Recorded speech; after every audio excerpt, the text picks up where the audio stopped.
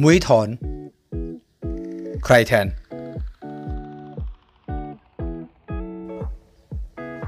นี่เป็นโจทย์สำคัญสำหรับอากิระนิชิโนะเฮดโค้ชทีมชาติไทย ต้องมีการเรียกทีมงานสตาฟโค้ชเข้าประชุมและพูดคุย หากธีรศิลป์แดงดา มีการถอนตัวจากทีมชาติด้วยอาการบาดเจ็บจริง โดยรายชื่อนักเตะ 47 รายที่อากิระนิชโน ได้เรียกติดทีมชาติชุดใหญ่ครั้งนี้ล้วนแล้วแต่เป็นนักเตะที่มีคุณภาพสูงของวงการฟุตบอลไทย หากมองถึงการตัดสินใจเลือกธีรศิลป์แดงดาเข้าสู่ทีมชาติไทยในครั้งนี้ แน่นอนอากิระอิชิโนะต้องมองถึงเรื่องของประสบการณ์การเล่นที่สูงของเจ้ามุ้ยธีรศิลป์แดงดาความการเล่นของเจ้ามุ้ยหลังจากลงเล่นให้ต้นสังกัด จนเกิดอาการบาดเจ็บ ทำให้ตัวตัวต้องหยุดพักรักษาตัว และช่วงท้ายฤดูกาลนั้นหมดสิทธิ์ลงช่วยต้นสังกัดอย่างบีจีปทุม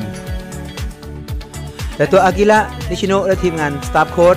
ก็ยังเรียกชื่อเจ้ามุ้ยจิริสินแดงดานั้น เข้ามาสู่แคมป์ทีมชาติไทยชุดดูศึกฟุตบอลโลก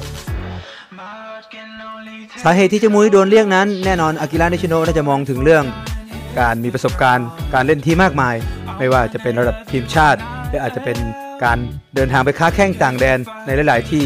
ทำให้มีโอกาสที่จะเผชิญหน้ากับกองหลังระดับพักการมากมายดังนั้นการมีเจ้ามุ้ยธีรศิลป์แดงดาไว้ในทีมนั้น แน่นอนเรื่องของประสบการณ์การเล่น และเรื่องของภาวะการเป็นผู้นำของเขา มันก็จะมีส่วนผลักดันและกระตุ้นเพื่อนร่วมทีมแต่จุดข้อสำคัญคือการคัดเลือกกองหน้าที่จะมาทดแทนเจ้ามุ้ยธีรศิลป์แดงดาของอากิระนิชิโนนั้น แต่โจทย์สำคัญที่อากิระนิชิโนนั้น ต้องเรียกทีมงานสตาฟโค้ชและทีมสเกลมาพูดคุย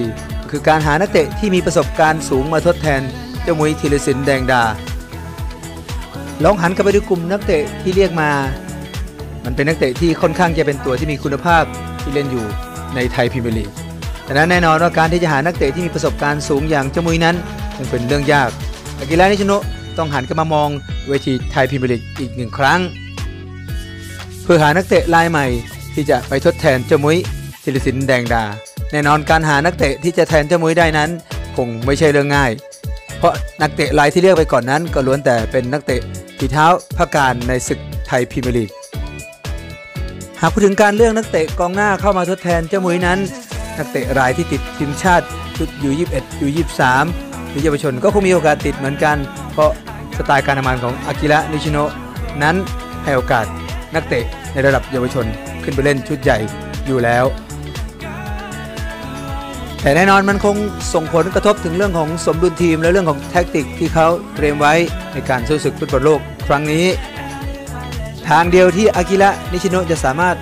ทำได้ก็คือ การปรับจูนและโยกย้ายตำแหน่งของนักเตะ ซึ่งแน่นอนนักเตะไทยรายอื่นก็สามารถเล่นได้หลายตำแหน่งนี่อาจจะเป็นทางเลือกให้กับอากิระนิชิโนะ ถ้าเกิดเขาเสียธีรศิลป์แดงดาไปจริง